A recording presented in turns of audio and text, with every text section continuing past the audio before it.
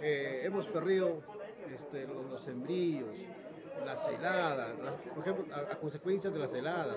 Hemos, hemos requerido muchas necesidades para, para decirle al señor ministro que nos atiende las necesidades para nuestras comunidades, pero lamentablemente han hecho caso omiso. ¿Qué vamos a hacer acá con, con sus acompañantes o como, como quieren decir los payasos? No hay que hacer nada.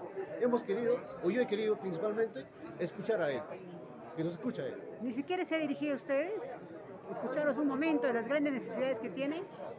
Absolutamente nada, absolutamente nada. Hoy he querido hablar acá para todos los... Te van a apagar el micro. Me han apagado el micro, pero lamentablemente es así. Es Pero ahora, usted representa a una de las comunidades campesinas más grandes que hay acá en la región Ancash, son la Sierra. Exactamente, Woody. Yo represento, mi persona representa a una de las comunidades más grandes de nuestra región Ancash. ¿Cómo se llama la Más de comunidad? 900 comuneros. ¿Cómo se llama la comunidad? La comunidad campesina de Cata. Muy bien. ¿Y ahora qué mensaje va a llevar usted a sus comuneros? Imagínate. Lo diré al señor Mardonio, no sé quién será ahora presente en la FADA. Nos hay tres, cuatro, creo, organizaciones de la FADA. No sé quién representa, la verdad.